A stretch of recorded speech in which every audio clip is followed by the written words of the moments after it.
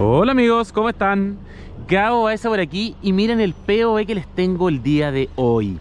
Este es un POV distinto donde no solo quiero probar un poco este auto que de hecho ya lo había probado pero que me encanta y poder subirme nuevamente a él creo que es una oportunidad que no se pierde.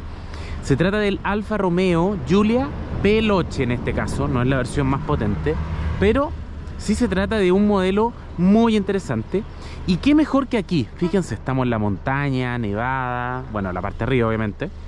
Y quería comentarles mi impresión de lo que significa subir a la montaña, puede ser un día nevado, puede ser un día normal, en un auto así, un sedán con tracción en las cuatro ruedas deportivo. Creo que este modelo no solo tiene unas líneas de diseño magistrales que siguen siendo probablemente uno de los sedanes más bonitos que hay en el mercado, pero quería además sumarle lo que implica la practicidad de tener un sedán, tener un modelo con el que podemos ir a la nieve, podemos disfrutar de este tipo de maravillosos caminos, pero con la mm, practicidad también y no tener que subirnos necesariamente un SUV. Muchas personas, la verdad que creen que la única manera de tener tracción en las cuatro ruedas es con un SUV. Bueno, también tiene su hermano SUV, el Stelvio, pero yo creo que, y se maneja impresionante, nada que decir, pero este es la manera más cómoda de tener un sedán y poder además hacer deporte al aire libre. Yo soy un fanático de la nieve, así que, eh, ¿qué quieren que les diga? Bueno, este es un sedán, como les decía, que tiene una plataforma donde yo creo que aquí pareciera que Stellantis gastó muchos, muchos millones de dólares porque realmente es una plataforma magistral.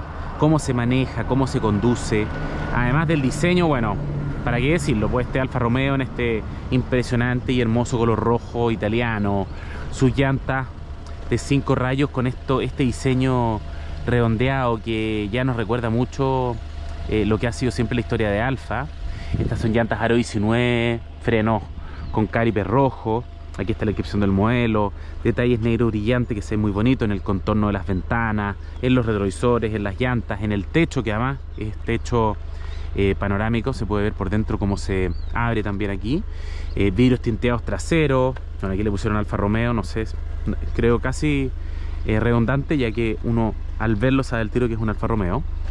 Aquí está la inscripción Q4 debido a que esta es la versión tracción a las cuatro ruedas. Si no, este modelo viene con tracción trasera ya que es una plataforma de desarrollo base tracción trasera. Unas luces traseras LED muy bonitas. Acá está el logo la serpiente, por supuesto. Julia, el modelo. Doble salida de escape también de negro con el difusor.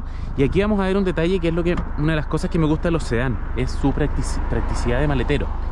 De hecho, bueno, aquí tenemos cadenas, que en este caso son estas, estas que se ponen como un calcetín por encima del neumático.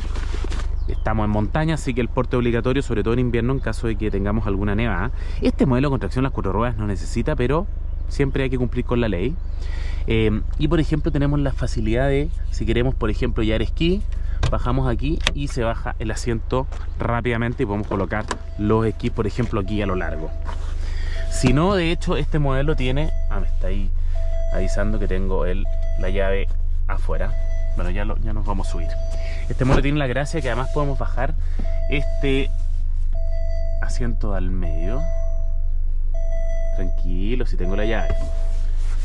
Y fíjense, podemos colocar, por ejemplo, los esquís en una bolsa a lo largo, entonces podrían ir hasta cuatro personas y con las bolsas de esquí aquí al medio. Este será un modelo, como les decía, eh, muy bonito con forma sedán, que es una forma que es poco valorada y que desgraciadamente está eh, cada día menos, menos común en, en nuestro mercado, en Europa y en otros lugares donde la gente realmente disfruta el manejo. Esta carrocería, la carrocería Station Wagon son muy muy utilizadas. Y a mí me encanta, o sea, bueno, aquí tenemos el asiento abajo, podemos subirlo y aún así tenemos también un apoyabrazo, butacas exquisitas. El espacio para las piernas aquí si se fijan, como hay tracción trasera, es prácticamente para espacio para dos pasajeros. El tercero puede ir pero con las piernas abiertas. Ahí tenemos un cargador USB, salidas de aire, muy rica materialidad, una buena visibilidad inclusive siendo un auto pequeño. Aquí tenemos hasta una segunda ventana, miren qué choro esto. Bueno, aquí tenemos luces de lectura, LED. La verdad que el nivel de terminación de este auto a mí me encanta. Es un auto que yo feliz tendría porque además se maneja de una manera Increíble, ya les voy a mostrar. Em, no, lo que les decía es que además la gente deja de recordar lo práctico que son los sedanes. A mí me encanta esta carrocería, si bien eh, creo que la gente valora más los SUV o yo, yo valoro mucho los Station Wagon. Vamos a dejar la llave aquí para que no moleste nuestro amigo. Tenemos estas butacas preciosas, fíjense las butacas, hermosas. Acá tenemos los botones, bueno, de los alzavidrios, espejos eléctricos, abatimiento eléctrico, audio Harman Kardon, asientos eléctricos con memoria, inscripción aquí Alfa Romeo y bueno, voy a subir para que deje de pitear. ¿Cierto? Me estaba piteando porque tengo un motor encendido. Bueno, fíjense este maravilloso volante deportivo. Me siento casi en un Ferrari Sedan. ¿Qué quieren que les diga? Estas paletas en el volante, miren qué maravilla. Botón de encendido aquí, tenemos control crucero adaptativo, comando del sistema multimedia. Un tablero absolutamente en, la, en el diseño de Alfa Romeo, un gran velocímetro, gran tacómetro, medidor de temperatura refrigerante digital, temperatura, o sea, nivel de combustible acá también digital, y esta pantalla del computador a bordo, volante ajustable en altura y profundidad, caja de cambio, Acá tenemos los modos de manejo, Dynamic, Normal y automático de su sistema DNA. Ahí está NA. Vamos a dejarlo en dinámico. Acá tenemos el comando también del sistema multimedia para subir y bajar el volumen. Vamos a apagar esto. Eh, acá tenemos un cargador inalámbrico para el teléfono. Fíjense ahí podemos dejar la llave. Varios enchufes USB junto con este de acá. Apple CarPlay, por supuesto. Y vamos a dar una vuelta en esta maravilla porque realmente se disfruta. Creo que es uno de los autos que más me gusta conducir, siendo que es un sedán y todo, la verdad que parece un deportivo de cuatro puertas. Y eso que esta no es la versión cuadrifoglio, ¿para qué decir? Ese, auto sí que es una locura. Pero este modelo es la versión Veloce, tiene un motor 2.0 turbo con 280 caballos, caja automática de 8 velocidades, tracción en las cuatro ruedas y un chasis que realmente es una maravilla. Bueno, climatizador bisón, asientos calefaccionados, volante calefaccionado. Así que vamos a dar una vueltecita. Y aunque no lo crean, es menos bajo de lo que parece. Yo, en realidad, estando en este camino y todo, la verdad que es un auto que, bueno, para qué decirles cómo acelera. la verdad que las reacciones son felinas. Es como un gato que se va agarrando en las curvas. Es una maravilla.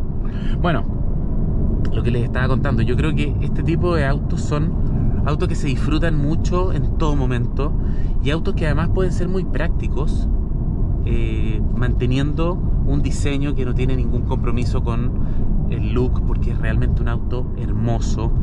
Eh, es un auto que, que obviamente además puede ser usado día a día porque no es un motor que suene mucho, no es un auto tremendamente incómodo para tener estas llantas Aro 19. De hecho, Debo decir que la calibración de la suspensión, como les decía, creo que es donde la marca más esfuerzo hizo en tener un chasis impresionante, porque realmente se maneja, es como que fuera sobre rieles, lo bien que anda y lo, lo maravilloso que, que dobla, que frena. No, es una locura este auto. Como les decía, se puede uno programar para ir a la montaña, programar para mm, hacer un paseo familiar, usarlo el día a día, inclusive ir a pista, porque con este auto uno puede ir a pista y no va a tener, o sea, nada que extrañar, porque está todo pensado para hacer un driver's car, como se dice, un auto para conductores, para conducirlo.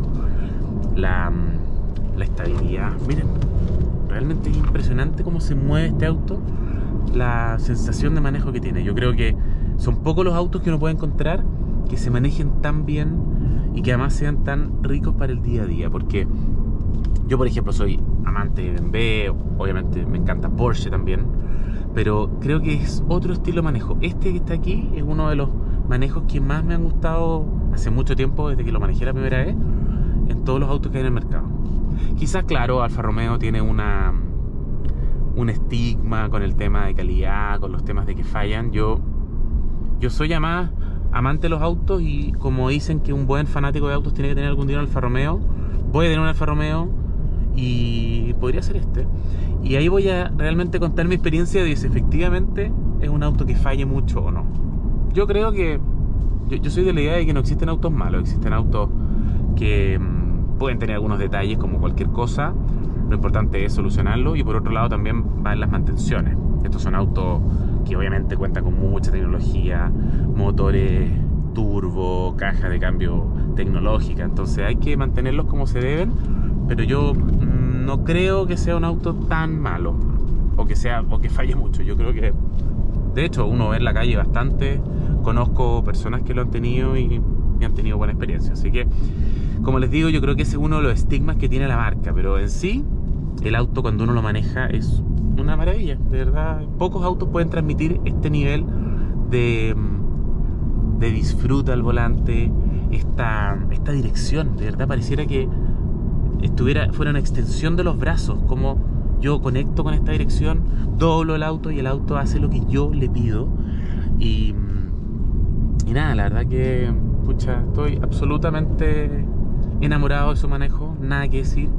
Eh, ahora, como les digo, voy a darme una vuelta a Camino de Farellones. No voy a grabar todo el camino, por supuesto, pero les quería mostrar cómo se mueve y realmente decirles que para los que creen que para ir a la montaña solamente se necesita un tracción en las cuatro ruedas, un SUV o algo así, no.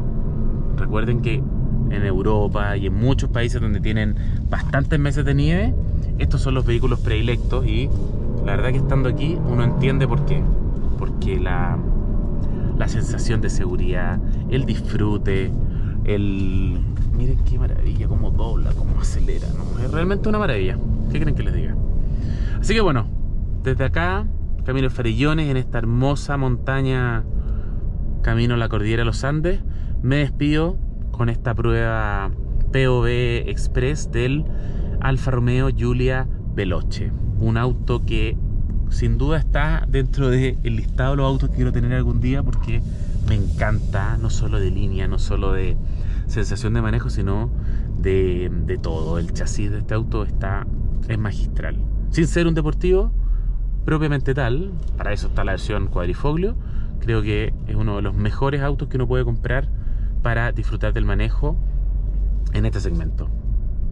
Así que nada, eso, los dejo invitados como siempre que comenten el video, se suscriban a mi canal, em, me sigan por supuesto también en redes sociales, sigan a Ruta Motor y nada, si tienen algún auto entretenido que podamos grabar, me escriben por Instagram y podemos ahí coordinarnos.